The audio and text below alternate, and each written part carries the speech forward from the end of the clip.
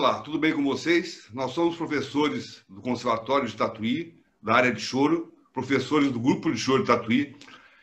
E hoje nós vamos começar uma série de vídeos para vocês com convidados muito especiais, músicos, ex-alunos. E para iniciar essa série de vídeos, hoje nós temos um convidado buscado a dedo, meu amigo. Muito, muito, muito amigo, que é o senhor Vinícius de Barros, ex-aluno do conservatório, ex-aluno da IMESP, hoje professor do, da Faculdade Souza Lima, integrante há 21 anos da Jazz Sinfônica, senhor Vinícius Camargo de Barros. Ei, Vinigão, você tá bom, velho? Oi, Zé, tudo bom? Prazer falar com vocês, revê-los depois de muito tempo. Altino, tudo bom? Marcelo, é um, um privilégio aí poder trocar uma figurinha com vocês. Eu estou bastante, bastante feliz e lisonjeado pelo convite. Professor Marcelo, tem uma pergunta para você, Vinícius. Vinícius, eu quero perguntar para você assim, a, como, assim, a importância do conservatório e depois da Unesp, que você tem essas duas né, escolas, você é formado por, por, por elas, né, por essas duas escolas. É, qual a importância dessas escolas na sua vida musical, como, como profissional, como músico? Como foi isso aí? É, primeiramente, no conservatório, eu tive um grande privilégio de conhecer, ter grandes professores, né, que, que me ajudaram muito e me abriram a cabeça. Por exemplo, eu tenho um professor de percussão que conhecia muito de jazz, que era o Rui Carvalho, o Caldana com uma outra linguagem, e depois, consequentemente, veio Eduardo Genezella, que tinha acabado de chegar dos Estados Unidos com milhões de novidades técnicas que ninguém conhecia no Brasil. Tanto é que muita gente foi estudar com o Eduardo particular e no conservatório por causa dessas inovações que ele trouxe dos Estados Unidos.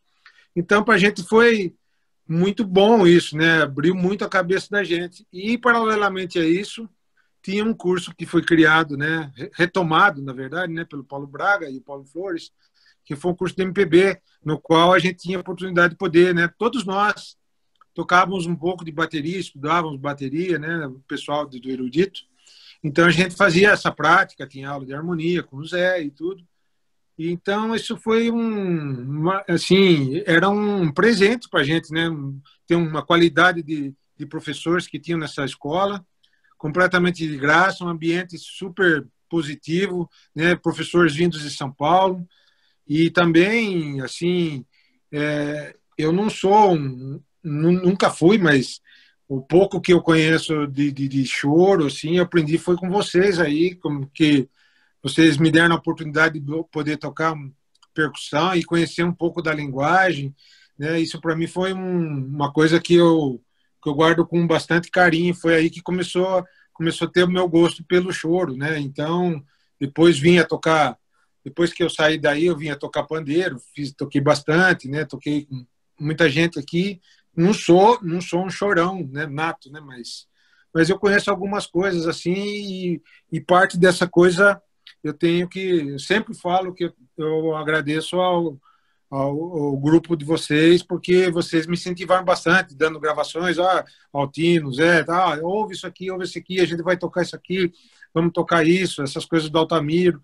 Então, tinha percussão muito leve ali, mas uma percussão que fazia um efeito bastante grande. Aprendeu a tocar um pouco de reco, tocar cacheta, essas coisas, né? E o Serjão, que era o pandeirista, também me dava altos toques. Eu não conhecia nada disso. Então, isso foi bastante importante. E depois que eu saí daí, eu vim para São Paulo, né, estudando erudito, né, faculdade na, na Unesp, e aonde é o momento que eu acabei um pouco deixando de lado essa minha formação, né, de, de tatuí a parte clássica, né, a parte de música contemporânea, apesar de estar numa faculdade que era considerado um dos maiores, os maiores estabelecimentos, né, com, com, com professores, né, com o americano John Baldwin, Carlos Stasi, mas a gente, eu comecei no meu terceiro ano da faculdade, eu acabei prestando um concurso na Jazz Sinfônica e acabei ficando de suplente.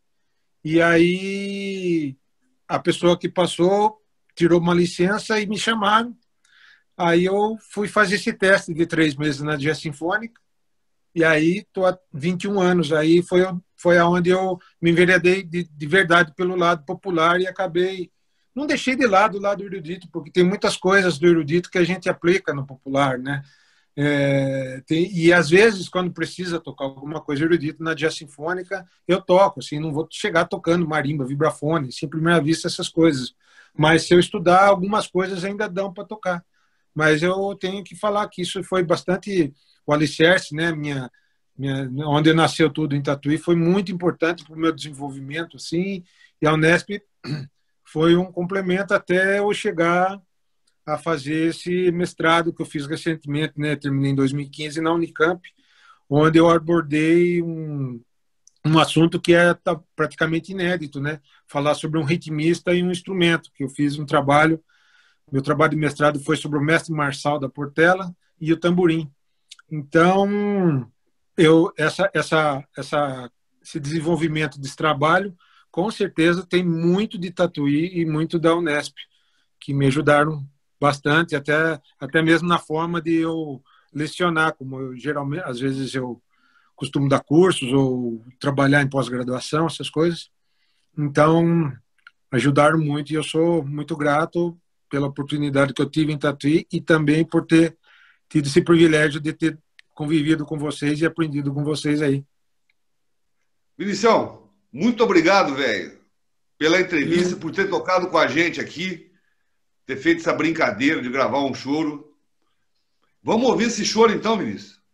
Vamos, vamos. Agora... Mas antes de você, de vocês ouvirem, eu queria reiterar meus, meu, meu, meu, meu agradecimento pelo convite. Eu fiquei muito feliz é, de, de, de, de, vocês lembrarem de mim aí nesse, nesse período aí. E, e eu agradeço também, né, desde lá o começo, tudo, isso foi muito muito bacana para mim, eu não jamais esqueço essa generosidade que teve, teve de todos vocês aí dessa, nesse período aí, né, nessa época que eu estava gatinhando com um monte de coisa ainda, né, e eu aprendi um monte e, e é isso aí, a hora que se precisar de um pandeirista na minha boca, nós estamos aí. Né, eu vou com o maior prazer do mundo. Obrigado pelo convite aí, sucesso, muita saúde para vocês aí. Então, Tudo de bom aí. Vamos ouvir esse choro aí, põe esse choro para nós ouvir aí, Zé, Não, vamos, é, então nós vamos colocar agora, vai ser o, o choro que nós escolhemos aqui para gravar. Isso aqui é o Carnaval do Idoso, do Adalberto Azevedo. O quarteto aqui. Está muito bonito. Vamos lá.